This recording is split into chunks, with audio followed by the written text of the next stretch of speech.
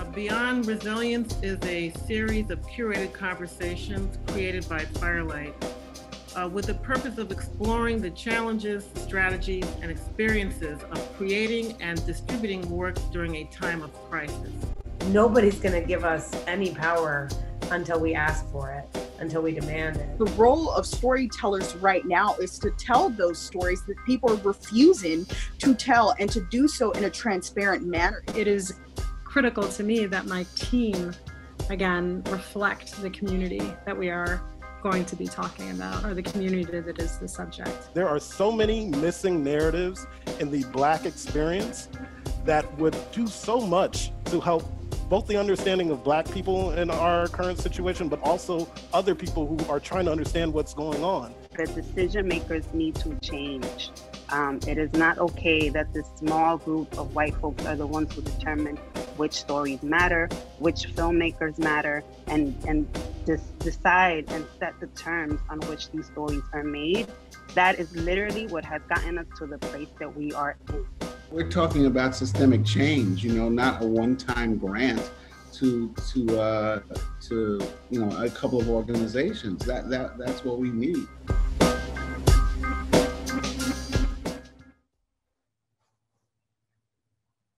Hi, everybody.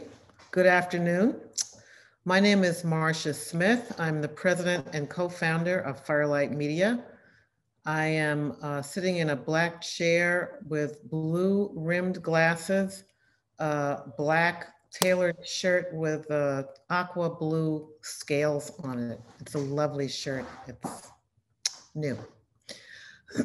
We'd like to start with a land acknowledgement to raise awareness of Indigenous presence and land rights. We all have a responsibility to consider what it means to acknowledge the history and the legacy of colonialism. I am coming to you from Harlem, New York, on the land of the Munsee Lenape people. And we encourage you to make your own land acknowledgements if you can drop them in the chat. And I'm going to ask one of my colleagues to also drop a link in there in case there are any of you listening who would like to do some more research on the land that you are currently on. As we begin today's event, I want to call our attention to the horrific violence that took place in Atlanta last week. Violence that specifically targeted Asian American women. The Atlanta murders stand as the most agonizing, but far from the only incident of violence, harassment, and scapegoating that the Asian American and Pacific Islander community has faced in recent years, but particularly during the COVID 19 pandemic, when racist language was used and promoted by some of the most powerful people in the country. Words have consequences. Language shape shapes actions. We all have a role to play in building a culture and a language that values all, that honors all, and that gives no quarter to racism.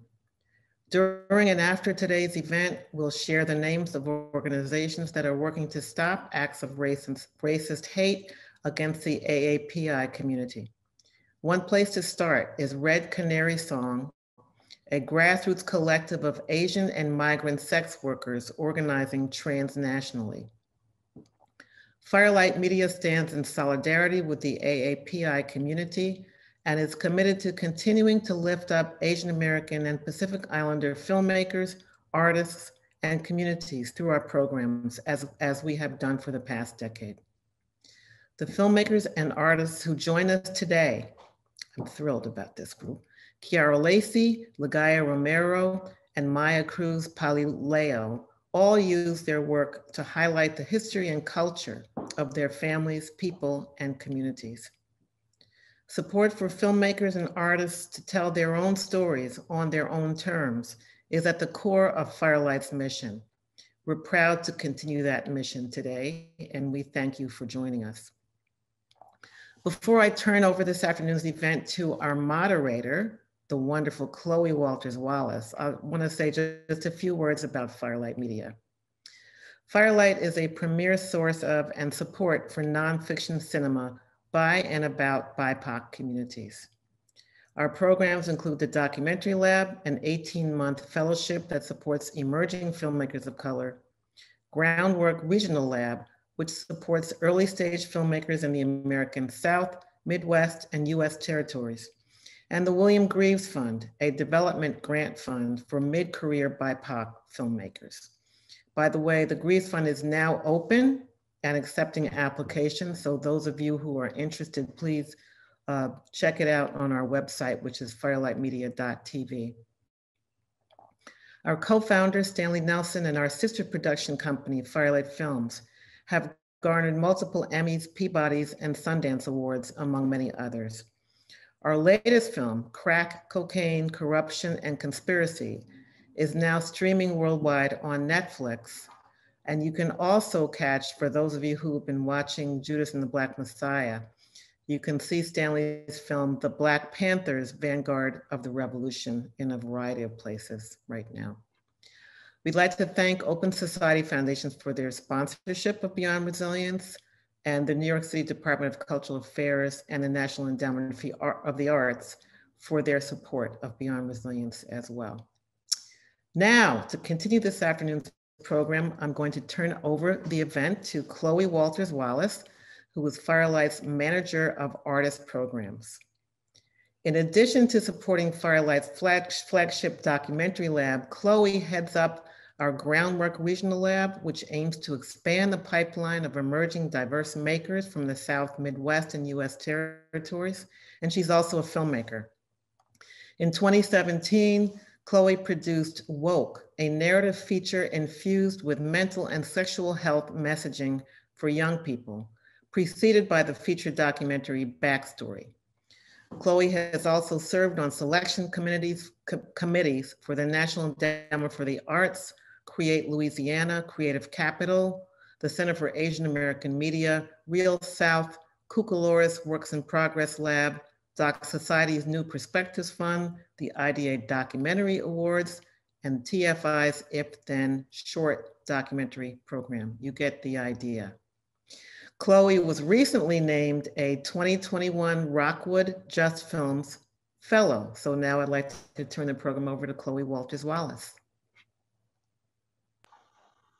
Hello, everyone. Um, thank you, Marcia, for that lovely introduction.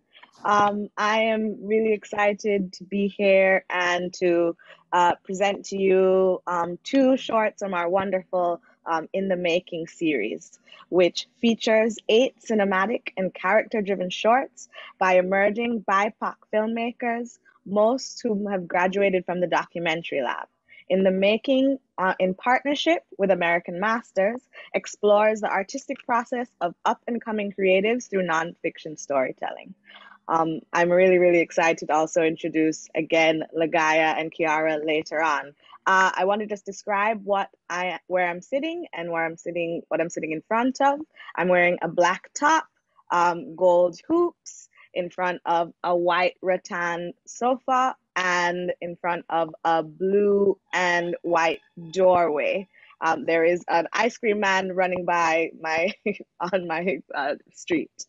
Um, so I'm really, really excited to share these films with you. We'll be sharing two different projects, two different short films, um, one after the other. First up, we have Maia Cruz Palileo, Becoming the Moon, directed by Ligaiya Romero. Enjoy.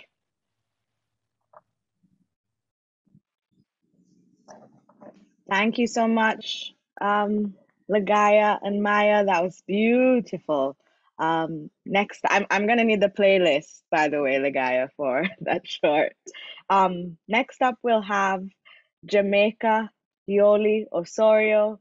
This is the way we rise, directed by Ciara Lacy. Um, it's quite a treat. Enjoy. Thank you both. Thank you, Ciara and Jamaica, for the gorgeous, gorgeous work. Um, I'm very, very, very thrilled to invite up um, Maia, Ligaiya, and Ciara, our panelists for today, to come share their experiences and their work. Welcome. Aloha. Um, Hi, everyone. So I'm gonna start. Yes. Hello. I'm gonna start off with a question for Ciara and Ligaiya. Um, as everyone might know or might not know, In the Making is the latest installment, a series of Firelight's digital shorts commissions work. Um, we put a lot of uh, care and love back into our alumni through commissioning sh- digital short films. Um, and I wanted to ask uh, the way this works is that you had to pitch um, who you wanted to feature in your digital short. And I'd love to know why you chose to work with Maia and Jamaica. What about their work inspired you or brought you to this place to create some work? Um, Ciara, do you want to start since you're off mute? Sure. Um, Hawaiian, in terms of a language, is incredibly poetic. So if you listen to Hawaiian music, um, everything in Hawaiian music is a metaphor or like an analogy using nature for a variety of things. So there's a lot of symbolism in our language. And I, um, I secretly am also a fan of slam poetry. I love the performance and the poetry combined. And, you know, I'm not the person with words, but I can um, love on and respect the person who does that. And I, I'd been following Jamaica's work for a while and just waiting for the right moment. And when this opportunity came up, I was like, what a great way to introduce something that feels really culturally relevant, you know, as a Hawaiian poet, um, but in a really updated way. So it's a way to like express Hawaiian culture outside of the more traditional arts, which are still important, but really expand what people see um, Hawaiians as. And there's just such fire behind her words. So I felt like not only would you be able to experience her poetry, but she'd also be able to give you a framework to experience it, um, which is really helpful too.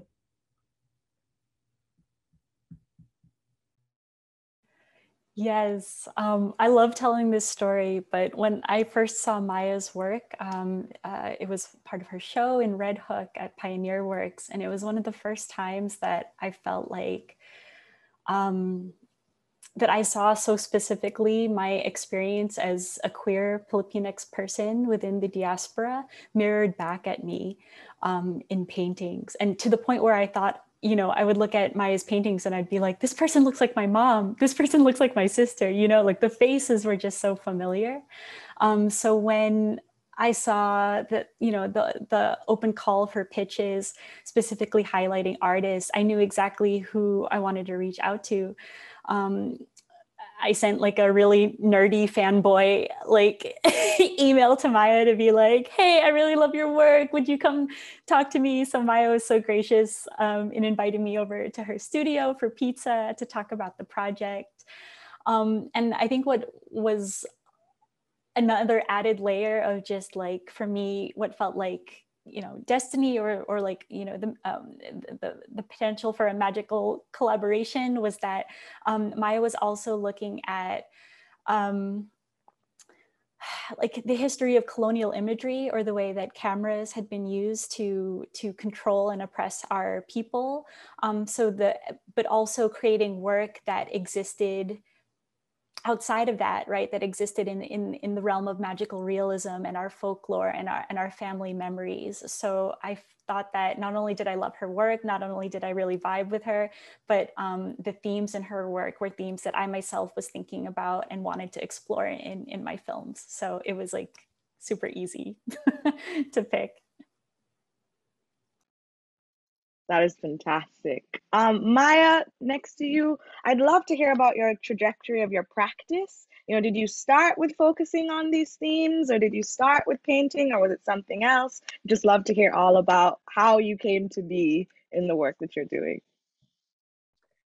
Thanks, Chloe. I'm so happy to be here. I just feel like everything is so fierce, and I'm so happy to be here. Um, yeah, I actually I started in art uh, in high school. I took a photography class, and uh, my dad um, did some photography when he was there, and he kind of knew about it. And I made a camera, and I was really just fell in love with photography. And then, um, and when I went to away to college, they didn't have a photography department, so I ended up in the fine art um, department, and um, you know, it's funny because I, I actually went to school for sculpture um, and I became a painter sort of secretly uh, and then later on. So um, yeah, and I and I was making work that was inspired by my family. Um, as you all know from the film, I was really thinking about memory and loss um, to begin with.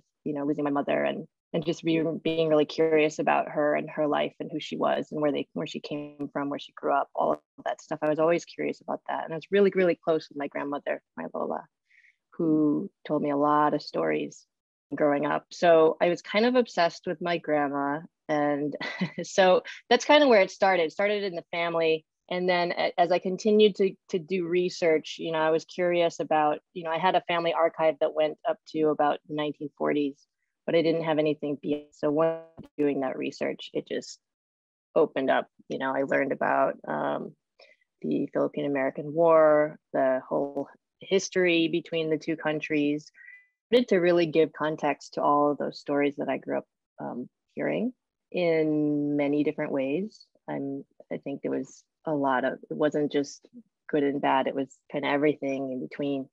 Um, so that's, so yeah, so then I went to um, Chicago or study to look at the photographs, the Acquineel photographs.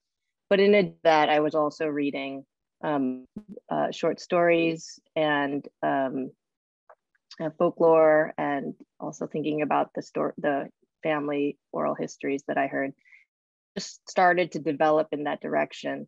Um, and you know, it, it just kind of went from there. It's it's really amazing because I didn't really have um, much of a, a Filipino community um, until I started making my work, and um, I've just been meeting a lot of people through the work. So I, I, I just, I feel like just trying to follow, follow the work has, has led to um, so much eye-opening uh, connections and inspiring connections. Thank you, Maia. Um, I'm going to direct a question back to Ciara, just kind of also moving into mediums as well. You know, poetry is not a visual medium, so I'm really struck by the way that you describe um, Jamaica's poetry and how that is then overlaid onto how you've created your film. You know, I was really taken with how you're enmeshing both word, her, um, their voice, their energy and experience of writing as well, the connection to the land. Um, and it's all kind of manifested in this work. So I I can you talk about what your artistic vision was to create it? I think we started off, I usually pick one thing. I'm very simple. So I was like, what's one thing that we can do to and focus on to translate the poetry on screen?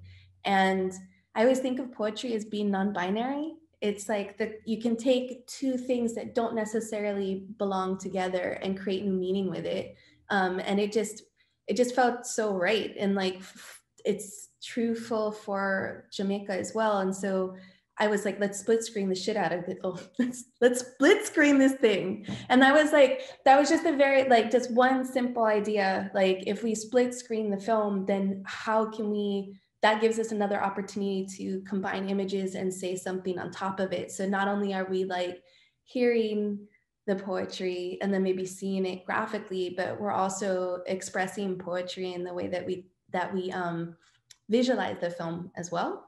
Uh, and that was yeah, it was a it was a it was a small idea that we kind of just stuck through. And process wise, we built the film as like a linear narrative first and then did a pass to split screen it. And I think it also gave us the opportunity to include a lot of like the natural imagery so you could fall in love with the spaces you were seeing um, in a way that was different. So, and just connect Jamaica to the land, you know, in a way that, um, the way that, in a way that we might not have been able to do. Um, so super, it was a really fun experience to kind of explore that. It was my first time working with split screen. So fun fact, we actually have almost like 45 to 50 minutes of content in the film that you see, even though it's like only 12 minutes because there's so much um, split screen work in it. If I was to lay out the film end to end, um, it would be really long. Thank you for sharing that. Um, Ligaiya, the overarching theme that I took away from your film is both from Maia and as well as how you kind of taken this trajectory of this lineage of ferocity um, for us to be who we are and that necessity that we must be who we are um, and and and fold that into our identities so that is also a part of the way you've stylistically created the piece i felt but you can tell me if i'm wrong um, i'd love to hear about also your artistic vision and how that kind of overarching theme is a part Whew, no, you are so right. And thank you for, um, you know, reading those themes into the film. And I'm so blown away, Ciara, by what you were saying about, you know, the non-binariness of poetry. And I think something that I was having difficulty with when I was structuring and editing the film is how do you take themes that are non-linear and put them into a linear timeline, right? And I can't think, I, if you ever, t- I like, I do not think in a timeline. Like my brain is all over the place. So yes.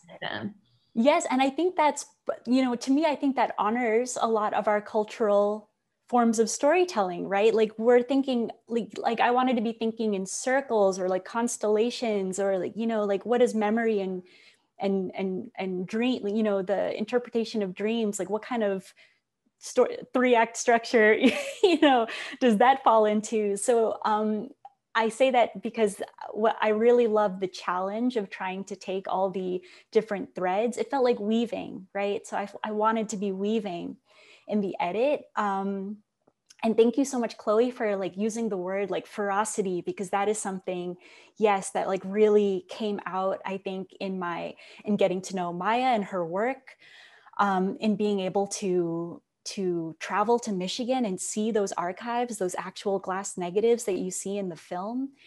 You know, ferocity isn't something that I grew up thinking I had a lineage of. You know what I mean? I think that is the part of the the violence of the model minority shit, you know, that it like shaves away our history of resistance, of rebellion, of of ferocity and then only in my like adult life am i now having to dig that up dig and dig and try to remember that history and like what is already in our blood right like our our our bodies remember it but can our can our heads remember it can our brains remember it um, so i guess that's you know that quote of of um, from maia's mother of like the purpose of life is to become who you are that really like struck me. And when Maia said that in the interview, I already knew. I was like, okay, I know where that's going in the film because it just spoke to like where I was and I feel like so many of us are right now is is becoming who we are, remembering, right? Like who we are and our lineages. Um that is a perfect segue into my next question, but I want to know if Ciara or Maia you wanted to respond to what Maia um, Ligaiya just shared.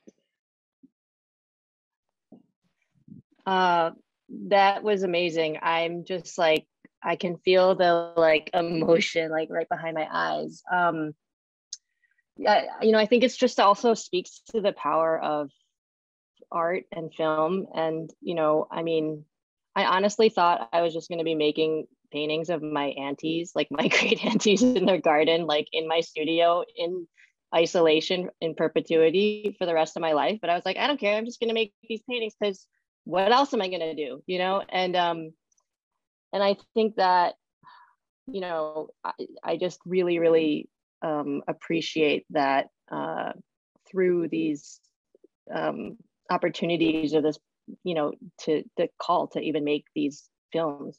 Um, all of this is coming up from that. I mean, it's just so powerful. And, and I, you know, I just wanted to say that.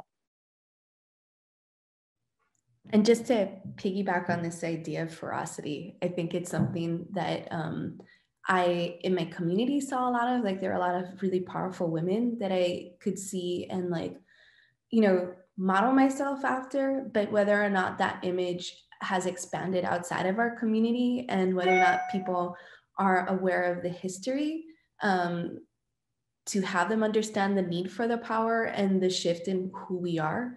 You know, Hawaiians, we do start with aloha, right? Love, love and aloha are like they're core to who we are, but that's um, there is a responsibility and a respect to that as well. And I think breaking outside of um, the image that has been marketed about us worldwide is really powerful. And you know, oh, Hawaiians, you've got aloha. Why would you be like you know, why would you be fighting this or that? Or why are you causing trouble? You know, there's a lot of the, oh, Hawaiians just cause trouble. And it's um, it's not that. It's because people don't, even in as Hawaiians, don't realize the history, you know, our own history. And um, I find myself so often having to retell where we're coming from um, and what that what that timeline has been to get us to where we are. So that when you see people protesting it's not just troublemakers. It's it's it's with reason and it's justified. And you can have aloha but also have that aloha and need to have the um, the ferocity and the fight for your people.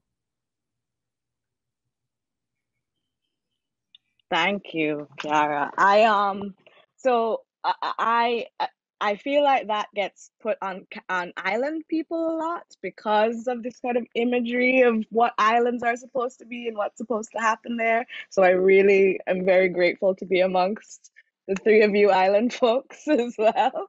Um, it makes me it, I can't even talk about. It. Um, but I in saying that in talking about history in both of your films there are these uh, these uh, grappling with the colonialism of the land. And it's not lost on me particularly Ligaiya when you bring up the exoticization of um, Filipino women and American imperialism and that connection to what happened in Georgia, the murders that happened in Georgia in the last few weeks, and how that's kind of part of and parcel of the manifestation of that violence. Um, but on the other side, this work and the, the, the, the work of reassembling who we are and presenting that for the world is also a part of history and archive. So I want to to hear from all of you about you know what it means to create this work um, in moments of worldwide and specifically the community crisis in the AAPI community, um, and just anything else you want to share about that.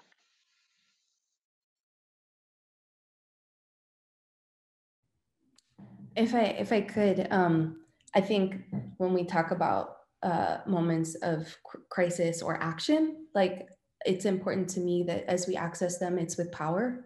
Um, you know, my goal is always to give a sense of power to our community. Um, even if they're even if we're talking about pressure points or vulnerability it's like we can we can speak about painful parts but we can do it in a way that also offers us power. And i think it's not an ex there's it shouldn't be one or the other. I think you know we can kind of acknowledge both and push forward with both. Um, and I will say, like, you know, watching the crisis with Mauna Kea, but also again seeing the power of our community come together. You know, I I walked away from it saying it doesn't matter what happens, the outcome doesn't matter in some ways. I mean, obviously we want the best of the best, but like being able to see my people in a moment of collaboration like that was something I never thought I would see.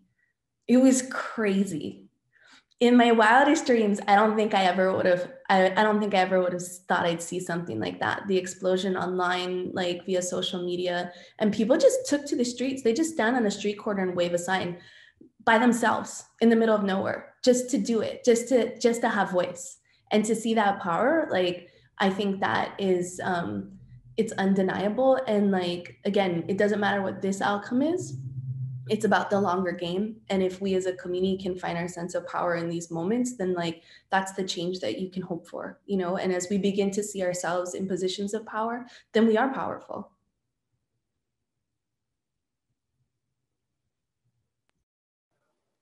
Ooh, so much so much power. Um i'm getting a little emotional so apologies in advance. Like this you know, for all of us, this has been a really painful week, painful year. Um, I had to write some points down before the panel because I felt like in my emotional heightened emotional state I would forget. But you know, for me, what I wanted to really uplift is that as storytellers, we see how our stories have been stripped down and then used against us in service of white supremacy, in service of capitalism. So when I see people say, stop Asian hate, and then in the same breath say, we need more police, you know, that to me, that's an example of like twisting our stories, right? And so, like, we need storytellers and stories that uplift that in order to stop hate against Asian American and Pacific Islanders, that means defund the police, that means end white supremacy, that we need to be in solidarity with our Black and Indigenous siblings and liberation movements. Um, that we have to understand the violence of last week in Atlanta at the massage parlor within the context of calling for the decriminalization of sex work and massage work. Um, that we need to understand it within the context of the, the fetishizing of Asian American and Pacific Islander women, which is tied to US imperialism and military occupation of our homelands. Um, so when I think about like, yes, like all the stories that we need, I want whole stories, like complex stories that acknowledge all of that, you know, that, that um, stop Asian hate requires also abolish ICE, that requires also, you know, um, that, uh, that also requires decolonization, indigenous land back. Um, so I, I think I'm getting emotional because I know that those stories are out there and Firelight has been a place for me to, to live into those stories and be part of those stories and in community with, with all of you. So I'm so grateful for that. Um, but yes, to your question of like, what does it mean to be a storyteller right now? Like that is not that each one of us has the burden of of doing that work alone to me it's like a comfort to know that look look around at all the storytellers that we're in community with and if we can all just carry like our one piece like our one part of that constellation together we have that wholeness and we can live into our our complexity um, in solidarity with each other. So yes i i am both excited and and grateful Oh, thank you, Ligaiya and Ciara um, and Chloe for this question. Um, uh, yeah, I I think that um, you know what's already been said. I totally agree with um, something that came up as you were asking the question from me, um, and this question of well, a couple things that came up in in Jamaica's film and as well as in my film and what we're talking about. It's is like what has happened has has been buried. Like like we as me as a first generation um person you know like i wasn't connected to what you know th- this history our history of where we came from. Why are we here in this you know and it stems from this violent history of war and imperialism. And um and so that's been buried for a long time. But it's starting to not be buried. It's starting to get uncovered, and and we're remembering. You know, we're, we're starting to remember, and um, and I something that also is coming up as well, and I think it's also sort of been coming up in this conversation is, yeah, the idea of complex personhood, and um, you know, Eve Tuck wrote the open letter um, suspending damage, and um, you know, in that open letter talks about the idea of thirding and desire. And um you know i think what happens is things get so flattened like oh this people don't have humanity because they're just this stereotype or whatever people think of a group of people. And then everything's flattened. And and then there's no other stories going on except for the that binary. You know that binary is like it's just so damaging um, so to to kind of bring in the third or or the both and like all of this complexity um, and i think that's something that i keep coming back to in these conversations like it's so emotional it's so um, it's really heavy it's a lot and then you know there is i mean it's hard to come to a complete absolute answer like there like and i think also in what you were talking about like with the split screen and the linear time like we're all working in this system that that may that maybe doesn't even like have root doesn't it's not even imagined yet what else is out outside of that that linear kind of narrow dominant narrative um so yeah i think that um those are the thoughts that I had on this. Thank you so much, Maia and Ligaiya and Ciara. Um, that has come to the end. Those are all the questions that I have. I'm wondering if there are any questions out in the Zoomosphere. Um, please use the Q&A box. No one's put anything in as yet. Um, and uh, I just I um really appreciate uh if you could share the name and title of the S the open letter that you just talked about, Maia, in the chat with everyone. That would be really, really fantastic. Thank you. No questions? Everything's answered? We've solved it. That's it. um, again, uh, since there's no questions coming up, um, I just want to say thank you so much, Ciara, Maia, Ligaiya, for joining us in this Beyond Resilience conversation, um, sharing your work and thoughts and incredible, incredible ferocity is going to be the word for me for the next week. Um, this was wonderful. Um, do you guys have any closing thoughts? Any other comments before we go? I just want to say thank you to everybody, and I wish everyone lots of health and safety and feroce ferocity um, in the week ahead, and love on each other and take care of each other. And always my gratitude to you and Firelight for everything you do to champion all of us and all of our stories out in the world. Grateful. Yes, Salamat. Thank you so much um, to Firelight, to you, Chloe, Ciara, Maia, everyone who helped coordinate this, and everyone who was listening in. I really, I, I didn't know how badly I needed this conversation until we started talking. So, so thank you so much for making this space and thank you for our beautiful community for being here. Much love to you all. Thank you to everyone who joined us.